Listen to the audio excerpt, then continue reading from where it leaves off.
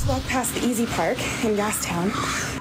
Left a parking ticket on this man's body. This man obviously just needed to sleep, and he was being treated so terribly. A man was sleeping on the street somewhere around this EasyPark parking garage in Gastown when a woman says an EasyPark employee taped a trespass notice to him as he lay on the ground.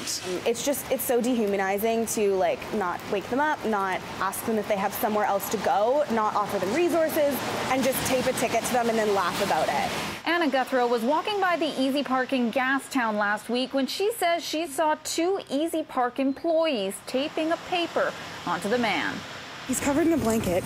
They taped a parking ticket to the blanket that is covering his body. Guthrow posted a video to TikTok about what she saw, which drew over 35,000 views, many offering comments of anger over the incident. A lot of people who work um, doing outreach in this area um, just re responding and saying, like, yeah, we see this all the time and it's so just disgusting and disheartening. Um, and yeah, it's it's not acceptable. EasyPark Vancouver's Gary Bradley tells CityNews they use an independent security company to look after the garage, and it is not uncommon for security to issue trespassing warnings. However, Bradley adds the alleged manner in which this warning was issued does not align with the company's policy, and they are now educating staff to make sure something like this does not happen again.